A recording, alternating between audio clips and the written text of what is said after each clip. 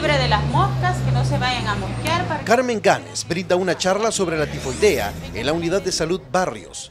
Esta enfermedad en las últimas semanas ha registrado un incremento de casos. Desde la semana segunda de este año hasta la semana quinta, algo inusual, porque generalmente la tifoidea se nos aumenta cuando inicia el invierno. Pero, ¿cómo se adquiere esta enfermedad?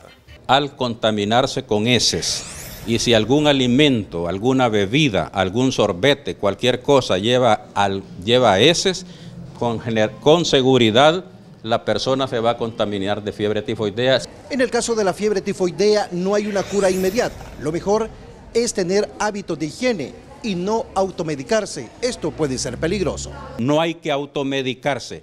Si uno le dice a una vecina, tome amoxicilina porque es buena, tome ampicilina porque es buena, lo que está haciendo es que la bacteria se hace resistente a esos medicamentos. La bacteria come, come el intestino, lo puede romper y entonces esa diarrea o esa infección se va a hacer se va a salir del intestino y nos va a contaminar todos nuestros órganos en el estómago.